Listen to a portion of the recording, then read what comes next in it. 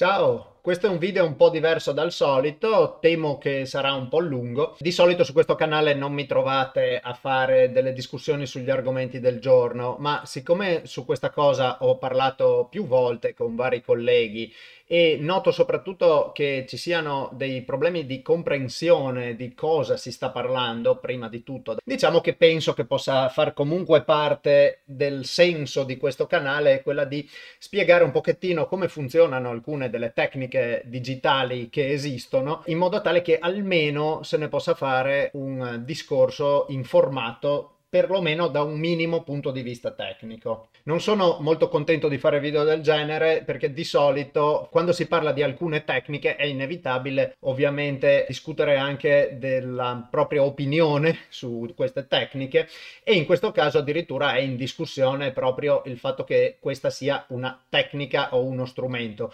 Quindi perdonatemi se ogni tanto utilizzo la parola strumento quando per molti questo non è uno strumento, è semplicemente diciamo per motivi di chiarezza e il fatto che ci sia proprio questa difficoltà anche solo a nominare l'argomento la dice lunga su come si stia polarizzando la situazione. Non c'è niente di male a polarizzarsi, l'importante secondo me è comunque almeno assicurarsi di star parlando della stessa cosa perché purtroppo noto che in molte discussioni sembra essere sconosciuto l'argomento tecnico. A me interessa spiegare un attimo cosa intendiamo quando parliamo di immagini generate generate dall'intelligenza artificiale, mh, mm, immagini generate dal machine learning, text to image, è finito per diventare una specie di enorme calderone nel quale si mette delle cose diverse. Non sono felicissimo di fare questo video anche perché c'è chiaramente un'operazione di speculazione in corso, eh, di razzia vera e propria che cercherò di, di spiegare e ovviamente queste cose funzionano quando sono fatte velocemente come tutte le razzie. Quindi far parte della discussione discussione sull'argomento è una delle cose che aiuta questa razzia. Questo è il motivo per il quale in genere preferivo non parlarne. Tuttavia, appunto, diciamo che mi metto nel ruolo anch'io di far parte del hype che si sta creando tutto attorno a queste cose, che mi ricorda in maniera del tutto parallela quello sugli NFT di un paio di anni fa, perché davvero in questi casi è la, la classica vecchia regola del non importa come se ne parla, basta che se ne parli. La mia opinione ovviamente esiste, non è possibile fare un discorso che prescinda da un'opinione, è possibile però cercare di fare un discorso motivato in maniera tale che anche se la mia opinione è diversa da quella altrui, almeno possa dare alle altre persone degli strumenti per capire come mai la mia opinione può essere formata in un certo modo. Questa pagina che state vedendo è la pagina di ArtStation, una community di artisti nella quale ci sono molte immagini come queste che sono appunto un simbolo di divieto sopra alle parole AI sono una forma di attivismo di diversi artisti nei confronti dell'argomento e sembra di sicuro che abbia funzionato in diversi casi perché a parte che nelle ultime immagini non c'è più, probabilmente hanno messo dei filtri per tagliare fuori questo, comunque quando accedete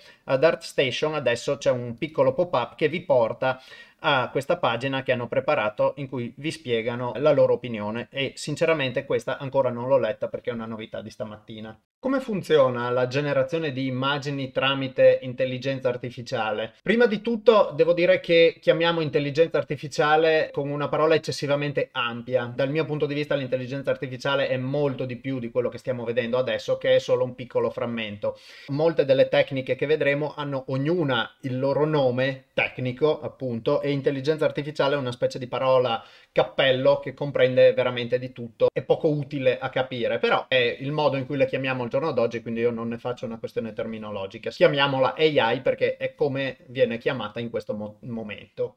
Il meccanismo in un certo senso è quello di quella storiella nella quale si dice se prendo un miliardo di scimmie e le chiudo in una stanza per un miliardo di anni ognuna con una macchina da scrivere, c'è una certa probabilità che prima o poi qualcuna se ne esca fuori con la Divina Commedia o con un romanzo. Poi ovviamente c'è anche la barzelletta che dice l'unica cosa sicura è che ci sarà una puzza terribile in quella stanza. Se proprio non avete idea di cosa sia un'immagine digitale, io ho fatto anche un video tempo fa che si chiama Colore digitale le basi, non sbagliare con Blender, Cintiq, iPad e schermi White Gamut. Nella prima parte di questo video io cerco di spiegarvi in che senso le immagini digitali sono dei numeri, diciamo, e quindi se proprio siete a zero sull'argomento provate anche eventualmente a partire da questo video dove cerco di spiegare cos'è un'immagine digitale nella sua base base.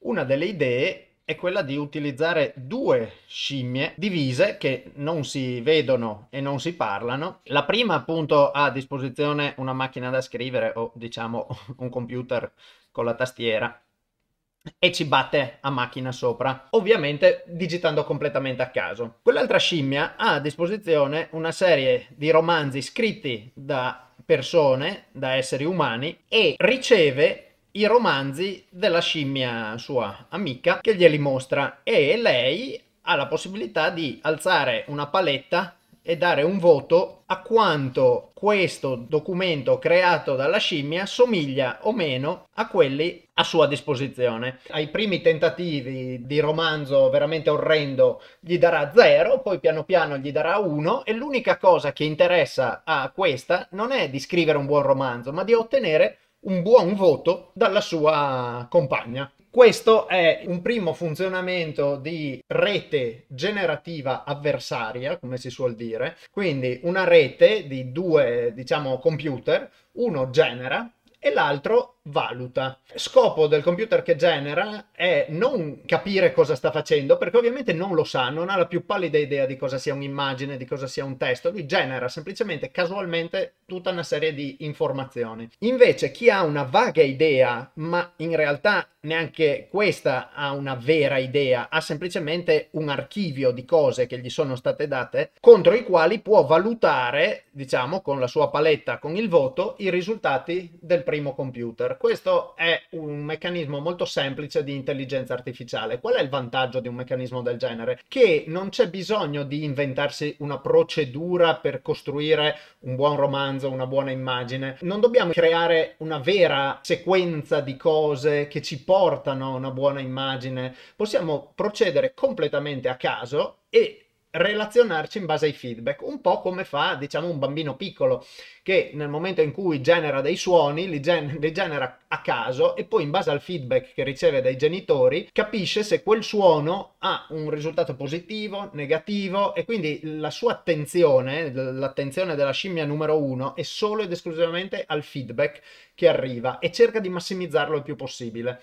E ovviamente la scimmia numero 2 non ha nessuna possibilità di dare dei consigli alla scimmia numero 1. Qua c'è un muro, permette solo il passaggio del voto oppure del prodotto, esattamente come i genitori non hanno modo di insegnare al bambino a parlare in quel momento, possono solo aspettare di ricevere un prodotto e attraverso il sorriso, attraverso mille cose, cercare di far capire che il risultato è nella direzione giusta. Questo permette piano piano di arrivare a dei risultati. Il procedimento seguito dalla prima scimmia sarà di decidere, che ne so, il colore di un pixel e in un primo caso di farlo di un colore e in un secondo caso di farne un altro. Dopodiché potrà decidere il colore di un altro pixel e potrà farlo del colore del primo oppure del colore del secondo e così via. Ogni volta potrà prendere una nuova decisione e quindi avere un risultato che dipende dai passi precedenti. Capite che procedendo in questo modo i passi che sono possibili, soprattutto su un'immagine, che anche un'immagine molto piccola è fatta già da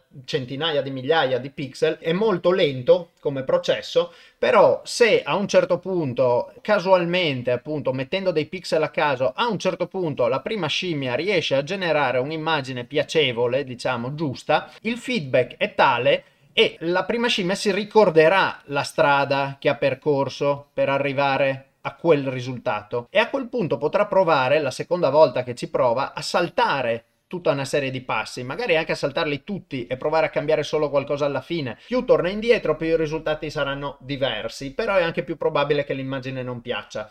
Comunque diciamo che pian piano riuscirà a capire che esiste una strada privilegiata che porta più facilmente al risultato finale. Un motore scacchistico più o meno funziona in questo senso, non sa come sta giocando, però diciamo che può anche escludere tutta una serie di giocate iniziali. Per guidare il processo possiamo aggiungere un elemento, potremmo fornire alla scimmia valutatrice un testo contro il quale deve valutare la qualità del risultato, quindi non eh, un libro a caso, ma proprio un certo libro, cioè devi dire alla prima scimmia quanto si è avvicinata a un specifico risultato. Ed è in questo modo quindi che possiamo in questa procedura ottenere eh, immagini diverse alla fine, perché forniamo alla seconda scimmia diverse immagini contro le quali dare il voto. La prima scimmia quindi imparerà delle strade diverse per arrivare alle diverse immagini. Con questo meccanismo funziona questa vecchia, mi tocca dire vecchia, applicazione di Nvidia che genera delle immagini sulla base di disegni molto semplici che noi creiamo a sinistra. Qui forniamo alcuni elementi mh, dipingendo, tra l'altro ancora dipingendo come, come, si faceva una volta, non scrivendo dei testi.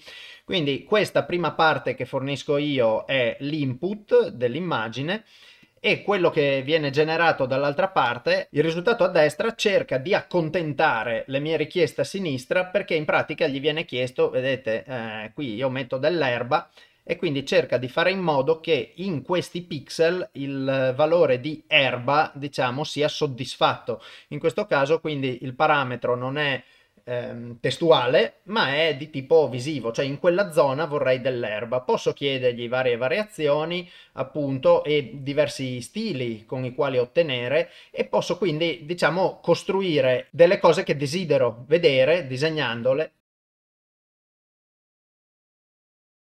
Le mie richieste cercheranno di essere accontentate a destra sulla base delle informazioni che gli sto fornendo. Questa applicazione che inizialmente si chiamava Gaugan, appunto, che, che sta proprio per uh, GAN, quelle che vi ho detto prima, reti generative avversarie, solo che l'hanno chiamata Gaugan per richiamare un pochettino il pittore Gauguin. Come vedete qui si, si, sbaglia, per esempio mi mette dell'acqua lì quasi sempre, in alcune delle varianti no, però diciamo che posso pilotare abbastanza il risultato, quello che ottengo è qualcosa che pesca da tutta una serie di fotografie, di alberi, di cielo, di mare e, e cerca di accontentarmi, diciamo, e quindi di ottenere dei buoni voti nella valutazione. Ogni singola zona dell'immagine riceverà il suo voto eh, quanto più si avvicina a quello che avevo chiesto, quindi appunto quanto più somiglia a una, in questo caso sto mettendo collina, montagna,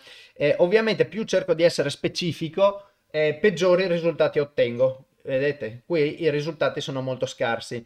Se ricomincio da capo e cerco di essere molto vago, prendo il mare, trascino una riga, riempio, adesso vedete, fornendo pochissime informazioni, il risultato è chiaramente migliore. Con delle regole abbastanza vaghe, i risultati sono sempre migliori che non cercando di essere troppo specifici. D'altra parte, appunto, è un metodo col quale cercare di generare eh, delle idee fondamentalmente. Questo gira esclusivamente all'interno del mio computer, quindi non utilizza su internet un bel niente. La seconda scimmia, diciamo, ha ricevuto le sue immagini già, le ha già in un archivio, non può essere migliorata in nessun modo se non con eventualmente appunto un aggiornamento del software. I dati sono già contenuti all'interno dell'applicazione.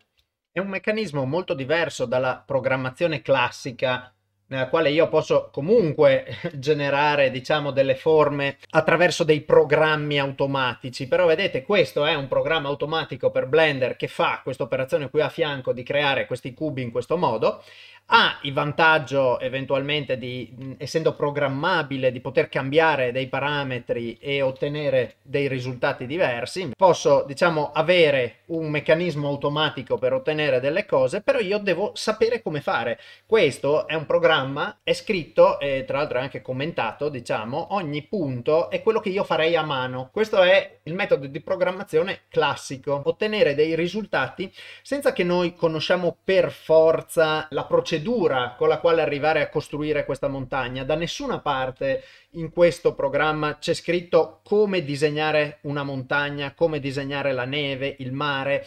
eh, è una specie di scatola nera che produce montagne, mare, e ci prova, la seconda scatola nera gli dice quanto è stato bravo e cerca semplicemente di massimizzare il suo voto. Questo meccanismo è utilissimo ed è un'innovazione molto grossa, per esempio in ambito industriale, che ne so, immagina una catena di pezzi dove bisogna verificare le saldature, si può mettere una telecamera che osserva e fa una foto a ogni pezzo e mentre prima serviva un essere umano che riconoscesse la buona saldatura dalla cattiva saldatura, oppure un essere umano che fosse abbastanza bravo da poter scrivere una procedura con la quale, eh, leggendo i pixel, il colore di una foto, si possa in quello riconoscere una buona saldatura da una cattiva saldatura. Invece questo metodo ci permette di creare un programma che dalle foto delle saldature risponde sì o no, se la saldatura è buona, sulla base della sua esperienza. L'esperienza ovviamente viene costruita con degli esseri umani che gli dicono questa è buona, questa non è buona, quindi gli viene fornito un set di buone saldature, un set di cattive saldature e lo si addestra fino a quando non la indovina. Quindi c'è anche, e, questo è importante per dopo, una parte di verifica dei risultati. Quindi diciamo c'è un terzo elemento nella catena, che siamo noi esseri umani di solito, che in questo caso siamo noi ad alzare una paletta e dare un voto a questa scimmia per dirgli sì, ha indovinato, non ha indovinato. In questo modo lei può migliorare il suo meccanismo di voto nelle volte successive.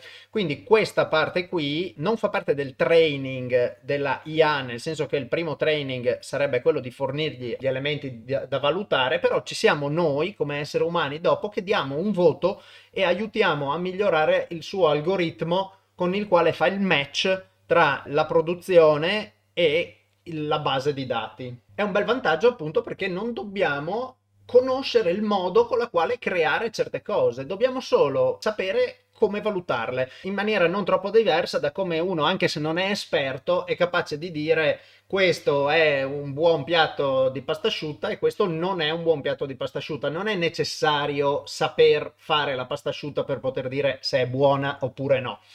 Eh, però se noi abbiamo un gusto pessimo e diciamo che la pasta asciutta è buona anche quando non lo è, ci, ci, dovrebbe essere una persona che ce lo fa notare. Quindi ci sono tre elementi in questa situazione nella quale uno, quello finale, è sempre un essere umano che possibilmente migliora le caratteristiche di chi dà il voto.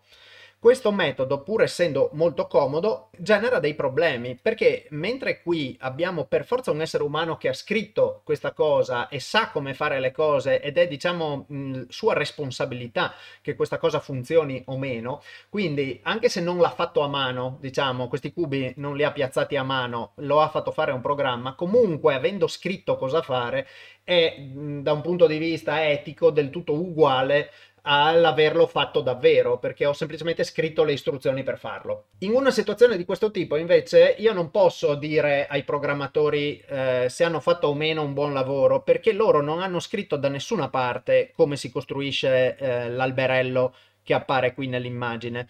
Non sanno davvero da dove viene, semplicemente l'alberello viene generato, viene votato, se è abbastanza buono passa, altrimenti non passa.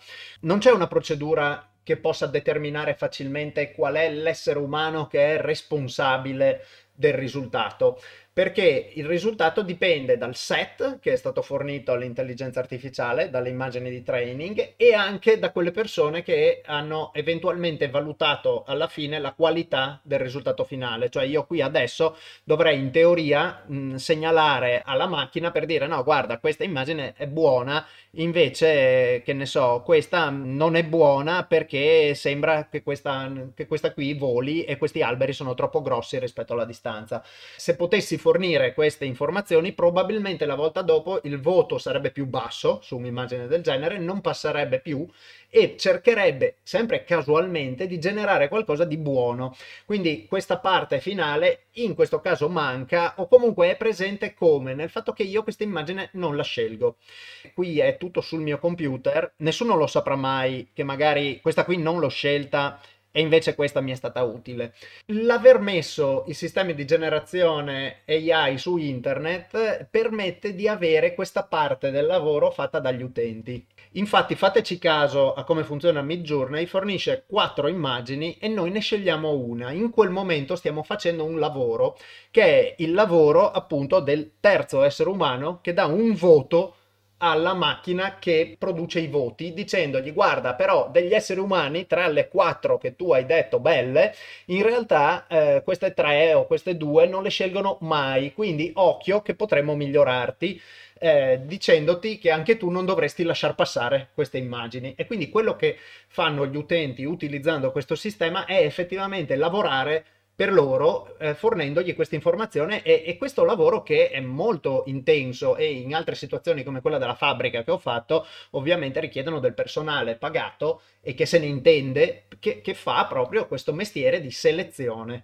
c'è qualcuno in questa situazione che sta copiando qualcosa, è effettivamente difficile sostenerlo. Perché eh, per quanto riguarda la prima scimmia, lei è chiusa in una stanza e non vede assolutamente niente, produce letteralmente a caso non ha idea neanche di cosa sta facendo, diciamo, non sa se sta facendo montagne, eccetera, perché al di là del fatto che una macchina non ha idea, macina semplicemente dei numeri, eh, però in ogni caso lei non le ha mai viste queste cose, non le ha viste perché è questa eventualmente che ha a disposizione i libri, le foto, il paesaggio da guardare, però questa non sta facendo assolutamente niente sta solo guardando e dando dei voti, quindi non sta producendo le immagini. Chi produce non ha idea di cosa sta facendo e questa che in realtà possiede le immagini, quindi alla quale potremmo dire ma chi ti ha dato il permesso di guardarle? In realtà però non le sta producendo. Eh, certo, è chiaro che a noi eh, viene venduto come un pacco completo e tra l'altro noi siamo questi qui che fanno questo lavoro qua via e quindi da questo punto di vista questo pacco completo si può ritenere responsabile di cosa sta producendo, però effettivamente i risultati non sono un patchwork del materiale di partenza in nessun modo, è proprio generato casualmente. Ora, questo sistema della rete generativa avversaria va bene appunto per creare il gioco degli scacchi. Nel caso della generazione immagini, qual è il difetto? Che tende ad arrivare quasi sempre allo stesso risultato.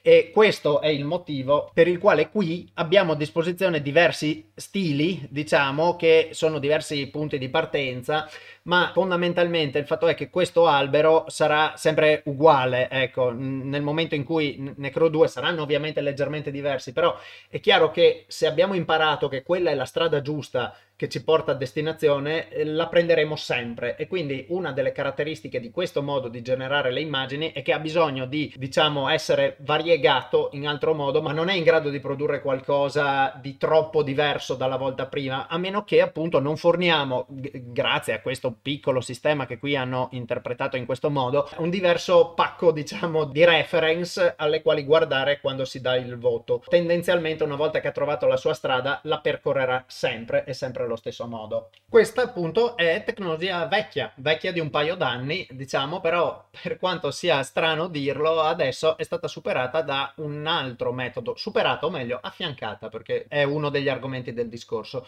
Come funzionano questi sistemi invece di generazione immagini attraverso la fornitura di testo? In questo caso io devo fornire un testo in inglese, beach at sunset per esempio, premo un tasto e otterrò dei risultati. Allora, questa in questo momento sta funzionando in locale. Cosa significa in locale? È su un mio computer, non è su internet. A, parte che abbiamo questi problemi etici dei quali appunto discuteremo, però usarle su internet significa anche fornire del lavoro alle aziende che ci stanno dietro, che grazie a quello che noi facciamo, in qualche maniera ci stanno utilizzando, esattamente come quando sui CAPTCHA vi chiedono di identificare le scale, di identificare i semafori. Stiamo lavorando per il training del delle intelligenze artificiali delle automobili che si guidano da sole. Siccome non mi piace molto l'idea di, di partecipare a questa cosa, questa qui è una generazione immagini che sta girando in maniera del tutto uguale, diciamo, alla più famosa Midjourney, ma questo è Stable Diffusion, ma soprattutto sta girando in locale, non è su un server di qualcuno, è su un mio computer qui in studio. Come vedete ho scritto Beach at Sunset e mi ha, mh, essendo molto libero, mi ha fornito tutta una serie di immagini, gliene ho chieste 9, potevo chiederne di più, insomma, o di meno. Qui è numero di fai due immagini alla volta per due volte, eh, beach at sunset, genero di nuovo, otterrò ogni volta delle immagini diverse. Questo è effettivamente quello del quale stiamo parlando in questi giorni eh, ed ecco qua appunto quattro immagini diverse. Notate che se cambio la proporzione delle immagini, creo una molto in piedi, potrei ottenere dei risultati molto diversi perché anche la proporzione delle immagini è importante diciamo nell'andare a scegliere it. Le immagini di partenza. In pratica potete vedere qui che anche cambiando la proporzione delle immagini eh, cambia molto quello che decide di fare perché diciamo che se le immagini verticali di spiaggia contengono di più certe informazioni, come per esempio questa cosa, eh, finiscono per eh, essere più rappresentate in questi risultati. Questa è generazione automatica in cui posso generare varie possibilità semplicemente aggiungendo delle parole. E qui non ho particolare possibilità di intervenire sul risultato. Più comincio a essere preciso, più le immagini, un po' come prima, cominceranno a essere strane. Quindi vedete questi gabbiani non lo sono per niente, sono degli orridi pteranodonti. Qualcuna di queste immagini è, è decente, ma semplicemente ha un primo colpo d'occhio. Abbiamo imparato che eh, il meccanismo è abbastanza chiaro adesso. L'immagine è generata con un metodo semi casuale, vediamo con calma come sono fatte queste. Posso comunque decidere di applicare criteri diversi, banche dati diverse e quindi a partire dalla stessa domanda ottenere risultati molto diversi per stile sulla base di alcune caratteristiche della base di dati di partenza. Per esempio, vedete in questi giorni in giro molte immagini fatte tipo paper cut, disegni fatti con la carta. Lì semplicemente si tratta di una base dati di partenza fatta soprattutto di immagini di quel tipo. Quindi è possibile selezionando certi tipi di immagine di partenza ottenere certi risultati. Poi notate che queste sono tutte fotografie, mm, perché evidentemente nel suo training ha visto probabilmente molte più foto che non disegni disegni quindi vedete queste sono tutte foto. Però se io aggiungo qualcosa painted by Van Gogh adesso utilizzo un morto appositamente ecco che all'improvviso sto dando un'indicazione molto precisa al meccanismo che c'è sotto e vedete ha introdotto questo elemento van Goghesco che diciamo è, è riconoscibile, cioè contiene la, la Van Goghisità. Ovviamente Van Gogh non ha mai disegnato niente del genere e anzi io potrei eh, chiedergli delle cose che non potevano esistere al tempo, no? Quindi uno Space Shuttle disegnato da Van Gogh. Evidentemente nella base di dati di partenza ci sono molte immagini. Questo sistema di generazione è molto più potente del precedente perché lo posso portare in direzioni imprevedibili. Cioè queste informazioni non ci sono nei set iniziali di partenza, non è mh, mm, assolutamente mai accaduto che abbia disegnato uno Space Shuttle Van Gogh, però in qualche modo il meccanismo è riuscito ad accontentare entrambe le richieste lo Space Shuttle e Van Gogh. Posso riconoscere alcuni elementi di partenza. Questo sole che non gliel'ho chiesto e queste stelle sono chiaramente prese da un quadro di Van Gogh, eh, quasi così come sono in un certo senso. E questo probabilmente è preso, basta vedere anche per il fatto che è in piedi, da un'immagine del lancio dello Space Shuttle però la, la, parte che le mette insieme non esiste. Per esempio il bordo nero dello Space Shuttle non lo trovo né nei quadri di Van Gogh né nelle immagini dello Space Shuttle. Questa è davvero un'invenzione che ha deciso di fare la scatola nera alla quale mi sto affidando sulla base delle informazioni a sua disposizione, ma non è arrivata in alcun modo da nessuna immagine esistente. In qualche modo ha capito che mettendoci un bordo nero poteva avere dei voti migliori. In questo caso ho aggiunto Gustave Doré e il risultato, tra l'altro, è peggiore del precedente. Probabilmente a disposizione ha anche meno immagini di, di, Gustave Doré. È abbastanza probabile. È cambiato anche il modo di rappresentare lo Space Shuttle. Qua adesso è molto più fotografico, diciamo, perché il modo di fare il, il chiaroscuro di Doré tentava un approccio molto più realistico rispetto a, appunto a, a Van Gogh. Son, è sparita la linea nera, non c'è. Se sono vaghissimo nella mia domanda, Space Shuttle e basta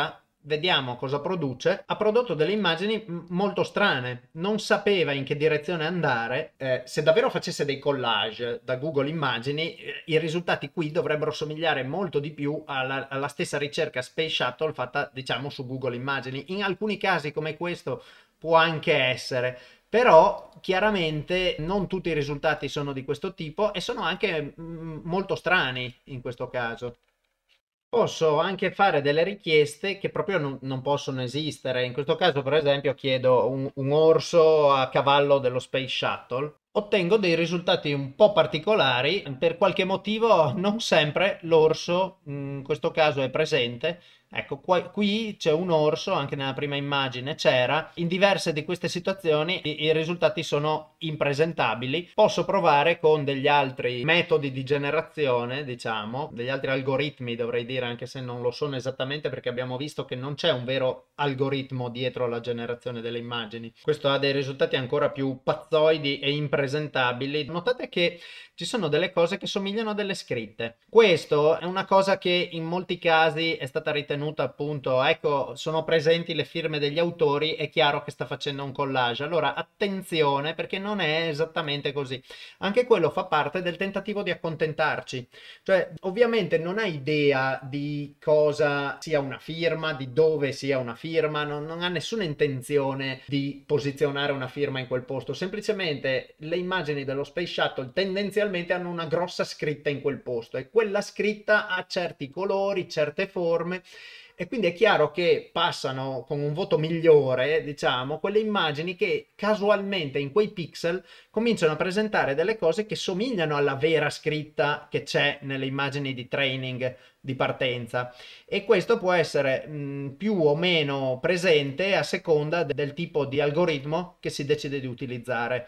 Queste immagini sono del tutto inutilizzabili per quello che cerco di fargli disegnare, non, non, c'è modo di pilotarlo, non è così facile. Di sicuro però sono dei risultati molto strampalati. Aggiungendo queste parole, Children Illustration Book l'ho mandato in una direzione molto più sensata, nella quale i risultati cominciano ad avere un pochino di più senso, perché non potevo ottenere dei grandi risultati dalle foto con un orso che guida lo Space Shuttle.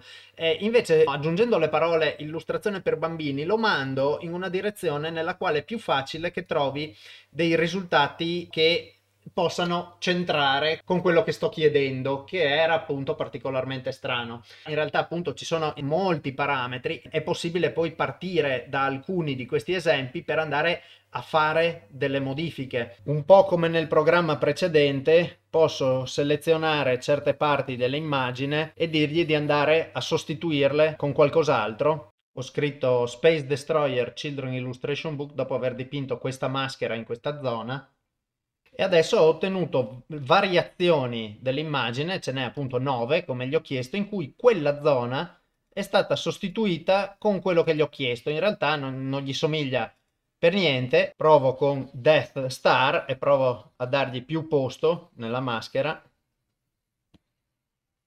in questa zona. Ovviamente guarda anche il resto dell'immagine, quindi vedete che ci ha messo l'azzurro e ha cercato comunque di farla rientrare nel contesto del resto dell'immagine. Ecco i risultati, questo ha un pochino di senso, in alcuni casi ha cancellato, ecco questa è proprio apparsa chiaramente qualcosa che somiglia alla morte nera, in alcuni casi eh, invece ha ottenuto dei risultati diversi. Il meccanismo può anche essere fatto in questo senso, gli ho chiesto un cappello a cilindro, ovviamente ha fatto de- dei mezzi disastri, però volevo farvi notare che comunque è andato, diciamo, a ridisegnare in parte la zona delle orecchie. Come vedete è decisamente difficile da pilotare, il lavoro è fare tutta una serie di prove, riprove, variare alcuni dei parametri, cambiare alcune di queste impostazioni. Diciamo che col tempo si può prendere più umano e ottenere dei risultati che siano decisamente più interessanti di questo qui. Vi ricorda niente questa funzione? A me ricorda molto la funzione di correzione che era presente già da diversi anni in alcune delle versioni di Photoshop. Questo strumento, diciamo, con il quale si poteva selezionare una parte dell'immagine e farsela sostituire, diciamo, con dei pixel che avessero senso. In questo caso ha fatto un disastro perché la parte è grande, però invece se si tratta di rimuovere piccole cose, funziona, li sostituisce, diciamo, con dei pixel che sono sensati rispetto a quello che ci sta attorno. Questo era già presente in Photoshop. Chiunque l'abbia mai utilizzato poteva immaginare prima o poi che saremmo arrivati a questo, cioè sostituzione molto più sensata di questi pixel rispetto a questa vecchissima versione di Photoshop che sto usando qui. Come funziona questo metodo? Allora, uno dei generatori automatici di immagini si chiama Stable Diffusion, cioè Open Diffusion. Notate questa parola diffusion. Allora, il, l'idea che hanno avuto è questa. Sapete che c'è il filtro rumore, c'è anche in Photoshop. Posso aggiungere del rumore a un'immagine. Di solito non è una cosa desiderabile, però diciamo che se io aggiungo una piccola quantità di rumore, l'immagine è ancora riconoscibile. Più rumore aggiungo, eh, più l'immagine è difficile da riconoscere. L'idea è stata questa. Posso addestrare una rete come quella di prima a rimuovere del rumore da un'immagine? Sì. Istruendola a capire qual è il rumore in un'immagine, posso aiutarla a toglierlo e soprattutto isolare il rumore in questione se io riesco ad addestrare una rete da un'immagine a estrarre il rumore, posso avere sì l'immagine or- originale, ma posso anche avere, diciamo, il suo rumore da solo, quella parte che se la tolgo eh, riottengo l'immagine originale. Probabilmente questa rete non mi darà la vera immagine originale. Probabilmente se questa era l'immagine originale, togliendogli il rumore ottengo qualcosa del genere, un po' più sporco, non è esattamente la stessa cosa, è qualcosa di, che, che gli va vicino, qualcosa di simile, però eh, il risultato è che avrò ottenuto il rumore e se l'immagine fosse davvero rumorosissima al punto che è costituita quasi solo da rumore, quando lo tolgo del tutto otterrò qualcosa che non sarà neanche così tanto leggibile. Sto simulando, ma sa- potrà essere magari qualcosa del genere, che veramente è solo un'ombra rispetto al lavoro originale. È più facile togliere poco rumore invece di tanto posso creare diversi step di rumore. Mentre sarà un lavoro particolarmente difficile riuscire a tornare dall'immagine super rumorosa fino alla prima,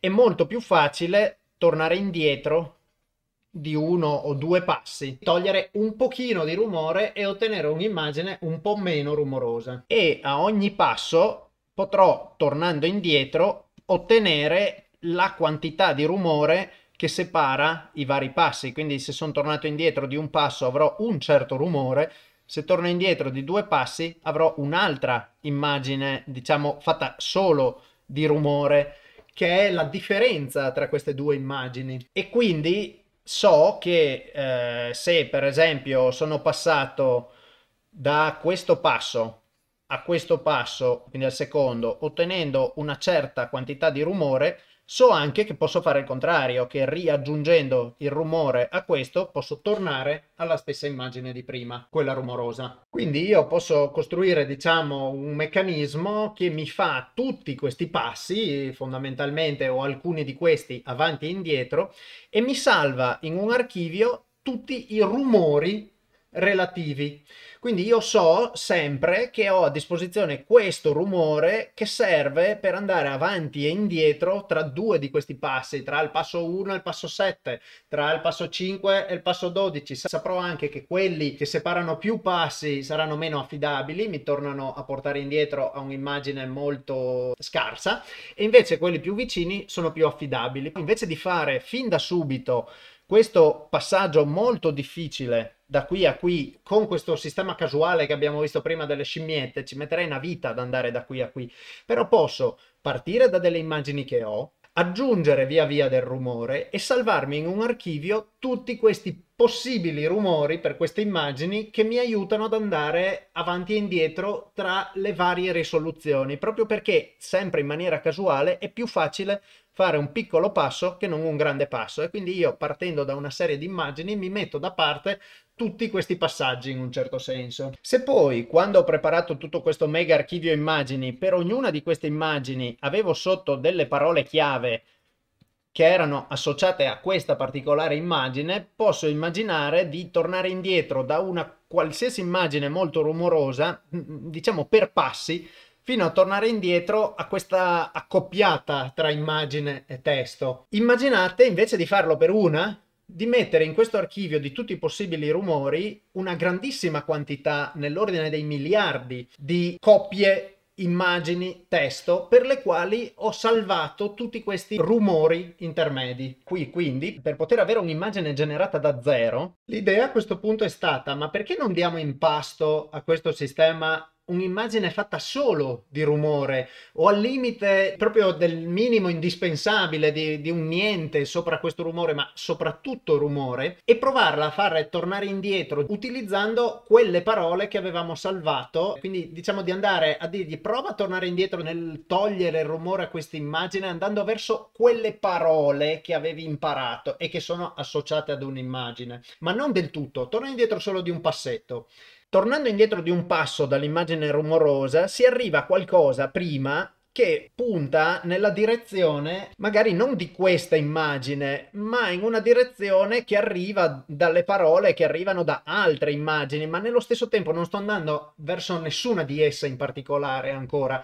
Ho ancora una possibilità di rami aperti che mi porteranno mm, ancora, diciamo, con probabilità molto alta verso qualsiasi di tutte quelle immagini originali che erano associate a quelle parole, perché ho fatto solo un passetto indietro, magari un paio. A quel punto cosa succede? Riaggiungo del rumore, quindi tolgo un po' di rumore e lo riaggiungo sempre utilizzando, diciamo, come guida quelle parole che avevo usato. Quindi mi, mi, posso, per esempio, aver fatto un passaggio da qui a qui, ma non immaginatelo con la stessa immagine, immaginatelo appunto con un insieme di immagini, non sto tornando a questa faccia, sto tornando a un possibile mix di tutte queste foto e da qui riaggiungo il rumore un pochettino e torno qua davanti.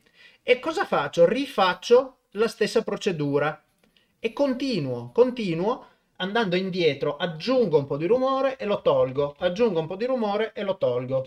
Ed è in questo modo che vengono generate queste immagini. E infatti questo sampling steps dice il numero di passi da considerare e che ovviamente per esempio più lo alzo più comincio a ottenere dei risultati più dettagliati ma è anche molto più impegnativo da calcolare. In pratica tutti questi parametri che se utilizzate qualcosa come Midjourney è un pacchetto pronto e non potete farci niente. In Stable Diffusion Open Diffusion avete invece la possibilità di regolare tutti questi parametri e per esempio questo eh, è proprio la scala di quanto devo forzare la ricerca delle parole spostandomi diciamo verso numeri alti o quanto ti lascio libero di andare in qualsiasi direzione spostandomi verso numeri bassi. Se io abbasso questo valore, in pratica abbasso il senso delle parole e quindi lo lascio vagare più libero, i termini vengono seguiti di meno. Ecco i risultati di averlo lasciato viaggiare libero e sono veramente dei risultati molto casuali dove gli elementi principali